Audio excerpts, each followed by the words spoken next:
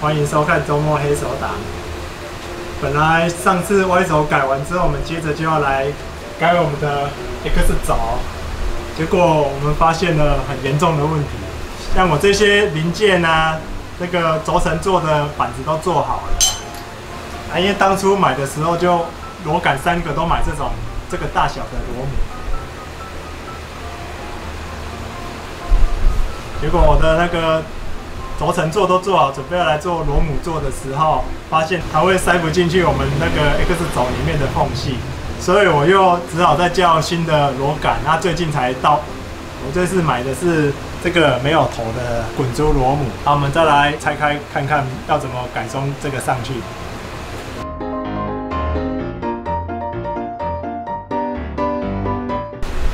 好啦，我们把这个。拆下来了，你看它这个才这么高而已，结果这个螺母超大的，所以我们装上去就整个就高太多了，所以我就只能换成换成这种没有头的，让这个高度才会差不多，再做个螺母座把它固定起来，这样应该空间就可以比较好运用。然后我们就来做那个的螺母座跟配件。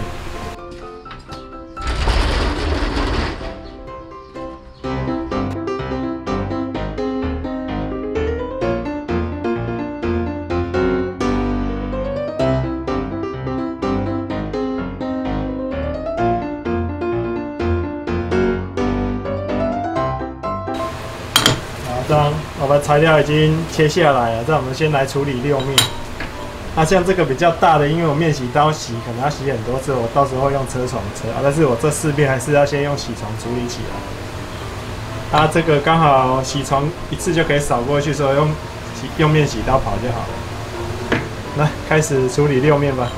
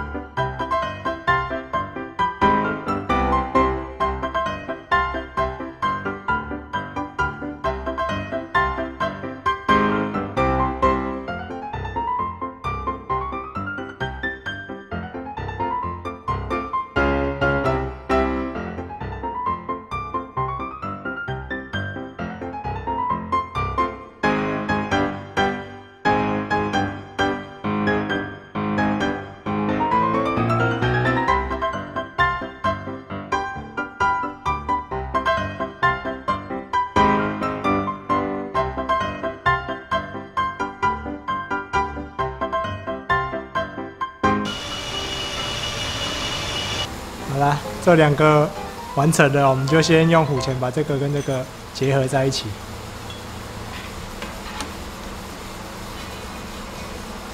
好，我们再来加工这个盖板的洞。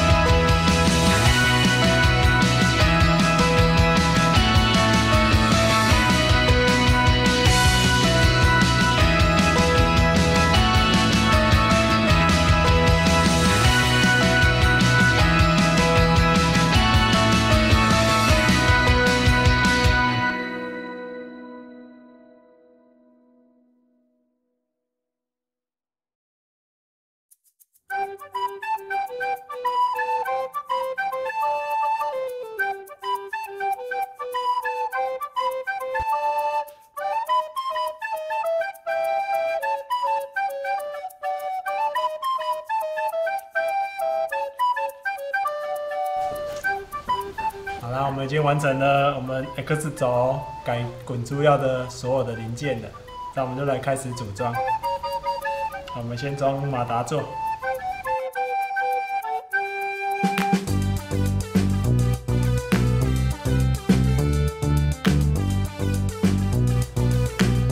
那我们安装这个斜角轴承，这里有大面跟小面的，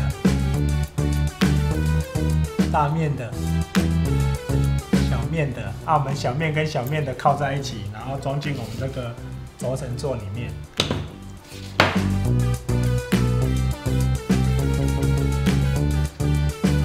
这样装起来之后，这里会留一点，会让它凸出来一点点。我们这样压板再压上去的时候，轴承就不会乱，轴承就不会乱跑。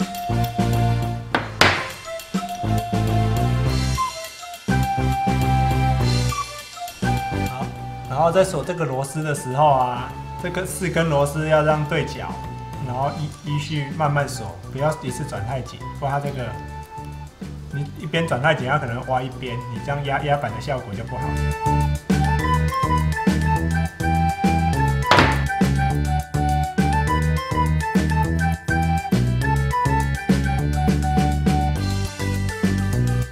然后我们这边轴承座就完成了。再换来另外一边，这边只要用一般的轴承就好，因为它这个只是支撑的，辅助着它旋转而已。要用这个一般的就可以。然后我们一样塞进这里。这一次我就不像那一个另外一边的轴承做做一个凸出来了，我们就直接做盖板，然后轴承直接装在里面，把它锁紧就好。啊，一样，我们这边会留一个留一个缝隙，让我们的轴承被夹紧在里面。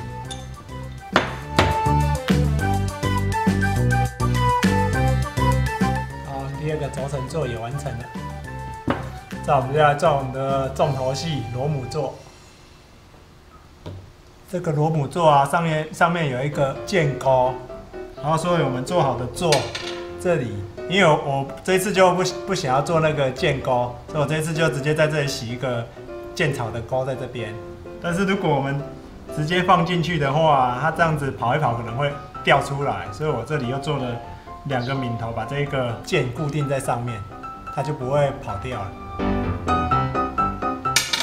再就是把我们这个穿进去我们的螺母座就可以了。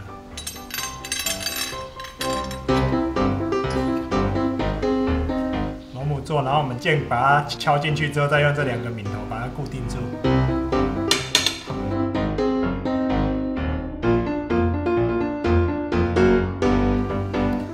一样，这个这种，因为它放上进去的话，我们剑一定不可能把它固定在前后，所以我们还是要有一个压板。然后我这次做凸字形的，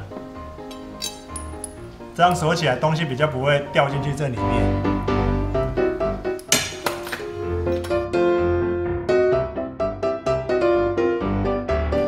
一样在锁这个盖板的螺丝的时候，最好还是依照顺序。对，踩对角的方式慢慢逼紧，才不会东西偏向某一边。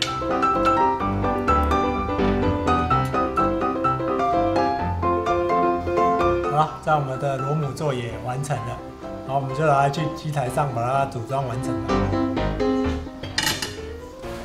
好，我们这个锁上去之后啊，我们不要直接锁紧，因为我们要量到这边跟这边。这边跟它是平行的，我们要这边跟它平行才可以，所以我们要用游标卡尺来量这边的距离，两边要量到一样，再把这个锁紧。好，我们校到平行之后，我们就稍微慢慢锁紧，不要一次锁，因为有可能锁下去马上就偏掉。然后慢慢锁，这样我们就把滑台装上去了。那我们就把这个斜键装进去，然后推到觉得很顺的位置就好，不要锁太紧，不然等一下可能拉不动。我们斜键就大概调到这样子，手内不要太难推就好了，因为还是要一定一定的紧度了，不然它你太松的话，这个在在加工的时候可能这样子晃。所以我们还是要尽量调到紧，但是不要推不动的状态。那我们就来安装我们的轴承座。那我们就来安装我们这边的轴承座。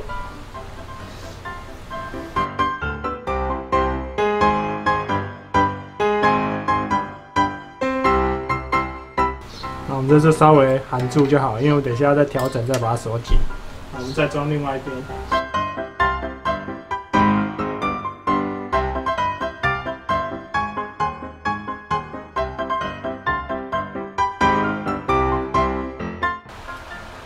这边一样，也是稍微锁紧就好。哎，这个有一点碍眼，我先拆掉。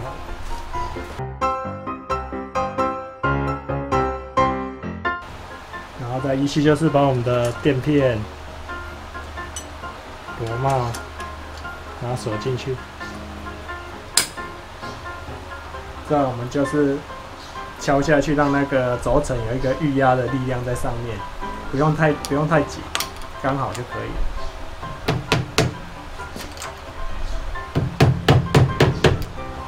好，大概一个预压力下去之后，我们就可以把这个指腹把它锁紧。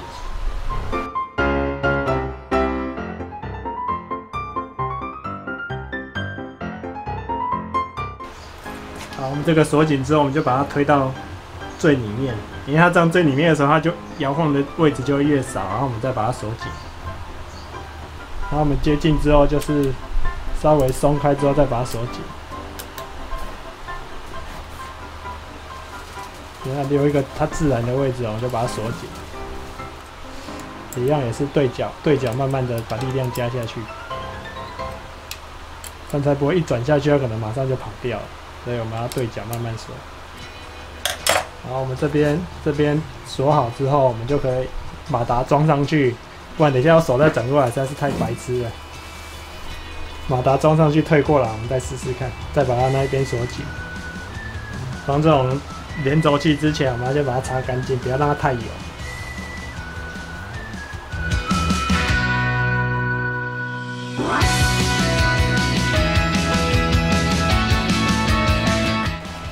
好，再我们把我们的马达锁上去。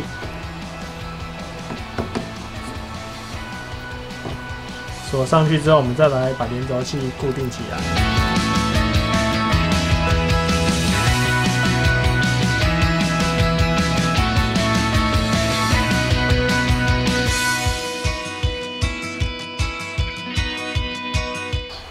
我再调这四根螺丝，让它接近同心，然后边转边锁。好，这样我们就把电接上去，退到另外一边，把另外一边轴轴承这里固定起来。另外一边也接近那个螺母座的时候，我们就来把它稍微松开，再把它让它对中心一点。好了，这边我们已经都弄好了。然后电动也可以，也可以运转。然后再把其他东西还原之后，我们就来测我们的背系。再来，我们就来测试它的背系。我们等一下测试背系的方法就是先让床台往左移，我们把表归零。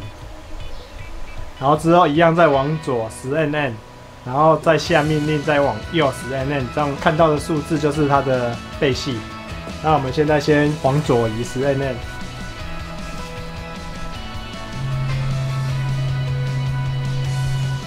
好了，我们已经往左十 n n 之后，我们把它归零，然后我们再往左十 n n，可以看到十 n n 非常准。然后我们再往回十 n n，我们就可以看到它的背系了。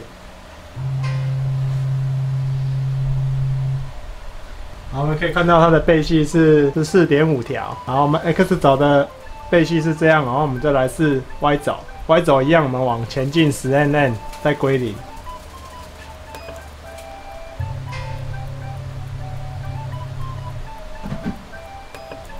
然后归零之后，我们再往前十 mm，可以看到前进十 mm 都非常准。那之后我们再往回退十 mm，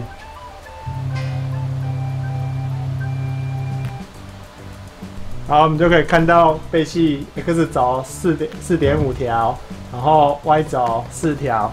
然后我买的那个转造级的是五条内，所以这样子是表示我买的他没有骗我。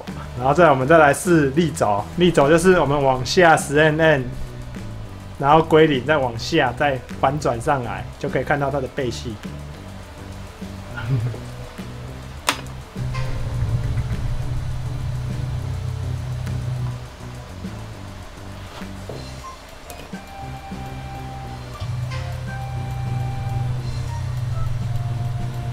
好了，我们今天。往下十 mm 了，然后我们之后再往上走十 mm。